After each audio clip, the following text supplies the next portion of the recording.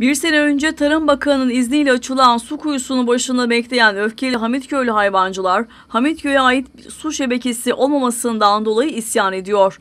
Suyun Dikmen'den geldiğini söyleyen Hamitköylü hayvancılar, su vanalarının kullanımının Dikmen Belediyesi'ne ait olduğunu, belediyenin suyu keyfine göre açıp kapadığını söyledi. Biz Hametçi hayvancılar olarak bugün bu suyun başında toplandık. Yaklaşık bir yıl vardır bu suyu bize Tarım Bakanımız buraya emriyle açtı. Ee, bundan dolayı Hamit Köyü zaten bir şebekesi, su şebekesi yok. Su deposu yok. Geçici olarak bize burayı açtı. Şu ana kadar idare ettik. Yalnız bu su Dikmen'den gelir. Bu suyun idare, idaresi vanaların bütün kullanımı Dikmen'e ait. Bu suyu bize devamlı istediği gibi açar, istediği gibi kapanır. Son günlerde bu iş çizmeyi açtı.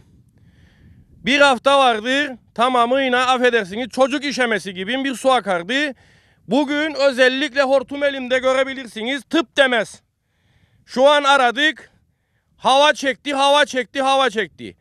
Hayvanlar yeterli suyu alamayınca ciğerleri susuzluğa dayanamıyor ve telef oluyor. Bizi bir alay içinde bir e, alay varı şekilde sürdürmeye devam ederler. Herkes bütün hayvancı mağdurdur. Bazı mandıralar vardır ki hay- arkadaşlar buraya gelemedi. Hayvanları hasta oldu. Veteriner doktor teşhisler ciğerde hastalık susuzluk. O durumlara kadar geldik. Barajın. Evet.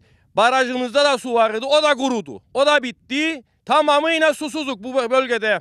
Hayvancılar Birliği Başkanı Mustafa Naimoğulları da evlere ve köylere su veremeyenler hayvancıyı üreticiyi nasıl düşünsünler diye sordu. Gelinen noktayı özetledi. Önemli olan hayvancının burada ne kadar kalabalık olması değildir. Önemli olan sorundur.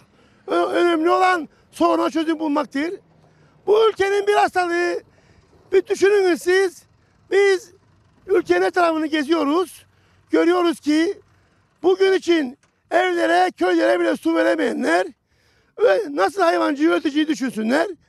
Bir beceriksizlik var orta yerde.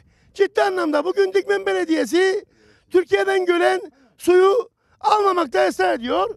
Türkiye Belediyesi sadece kendi kaynaklarıyla kuyudaki suları e, dağıtarak hayvancıyı, köylüyü mutlu etmeye çalışıyor. Ben bakıyorum Şine, Şinevre'deki hayvancı sıkıntılı su yok.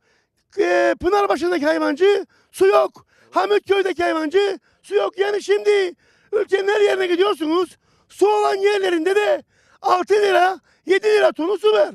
Şimdi Foşa Belediyesi belki de bu köylüye suyu verebilir. Aday ama 7 lira tonu 7 lira tonu yesin inekliğe satın alsınlar.